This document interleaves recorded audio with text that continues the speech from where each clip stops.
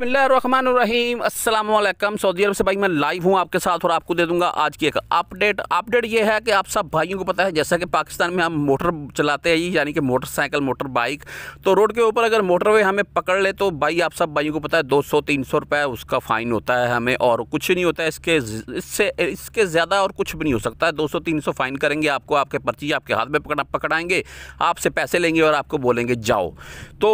अगर सऊदी अरब में ऐसा होता है, सऊदी अरब में अगर आप कोई बाइक वगैरह चला रहे हैं, कोई हैवी बाइक का चाहे फिर वो, चाहे फिर वो कोई सादा मोटरसाइकिल है तो उसके मतलब सऊदी अरब में अभी क्या फ़ाइन कर दिया गया है? अगर आप बाइक कहीं छोटी दबाव जो होती है, छोटी जो, छोटी मोटरसाइकिल होती है, उसे दबाव बोलते हैं, अगर सऊदी अरब में आप वो भी चला रहे हैं ना तो उसके ऊपर भी आपको हेलमेट लाजमी है जी, ये मैं आपके साथ कन्फर्म करता चलूँ, अगर आपको किसी दौरियात या शुरता या मरूर वगैरह ने पकड़ लिया तो आपको कितना फ़ाइन होगा? तो आपको भाई, अगर सऊदी अरब में आप किसी भी मोटरसाइकिल पर मौजूद हैं और ऐसे घूम रहे हैं हेलमेट के बगैर तो सऊदी अरब में अगर आपको किसी मरूर वगैरह ने बाइक पकड़ लिया तो आपको एक हज़ार रियाल से लेकर दो हज़ार रियाल तक का फ़ाइन हो सकता है। जी मेरे भाई, शायद इसके मतलब मैं आपको मुकम्मल डिटेल से एक पिक्चर वगैरह भी दिखा रखा हूँ, जो कि मरूर की तरफ़ से अपने ट्विटर अकाउंट पर शेयर की गई थी कि हेलमेट अगर आपने नहीं पहना हुआ है तो आपको एक हज़ार रियाल से लेकर दो हज़ार रियाल तक का फ़ाइन हो सकता है। अगर आप एक हज़ार का भाई हिसाब लगाए ना तो पाकिस्तानी हिसाब से चौतालीस पैंतालीस हज़ार रुपये बनता है।